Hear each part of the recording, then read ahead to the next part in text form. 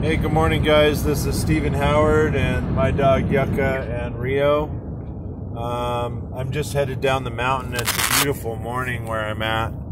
Uh, headed down. I always love this view driving into Red Rock. Right about here, if you remember the Chris McCandless movie Into the Wild, that was shot right here. Uh, the Mack truck dropped him off from hitchhiking right here. And uh, what a beautiful area. I know Chris uh, hung out in Spring Mountains where I am. And uh, sorry, camera adjustment while I'm driving, which is not safe. Um, I just wanted to say, you know, I, I, turned over a new leaf like everybody else does um, on New Year's. You know, I'm optimistic about 2021, and um, I'm really putting my best foot forward.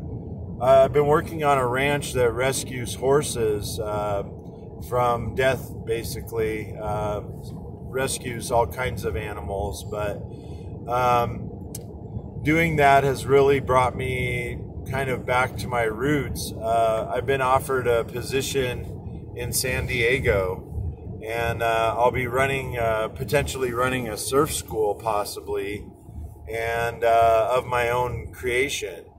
And uh, I'm really excited. I was a surf instructor for Pura Vida, uh, Pura Vida down in San Diego, next to where the old Ox was but right by the Crystal Pier, you can find Pura Vida. I believe it's next to the Wienerschnitzel.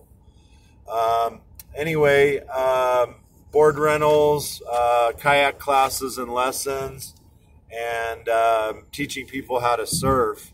And I'm, I'm really excited about this possible endeavor that I'm about to go on. But um, it's in the planning stages. I just wanted to tell you about it. It was kind of a miracle yesterday because uh, I'm painting a barn here in Nevada. And um, while I'm painting this barn, they're talking to me about my, my hopes, wishes, and dreams. And I, I really have, uh, have come to find out that the universe really is answering my prayers.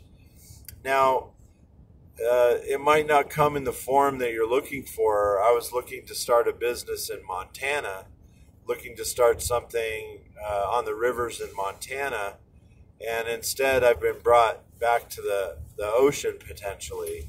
So uh, I grew up around San Diego. I'm very excited to go back to San Diego, and um, that's where I'm going to put my, my best foot forward right now. Um, I hope everybody is having a wonderful start of their new year. If you're encountering any low vibration stuff, sorry, my dog is completely molesting me. If um, if you're uh, if you're having low vibration or you're having any quarrels or chaos or anything in your life, just realize that that's the last bit of energies from 2021. All you need to do is an energy cleanse, do a lot of saging and get yourself prepared and get your energy clean um, for the next step.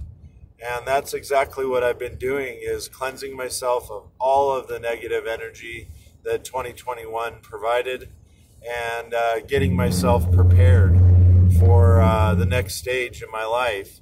Uh, we've just closed a 10 year cycle and we're opening a new 10 year cycle. So, uh,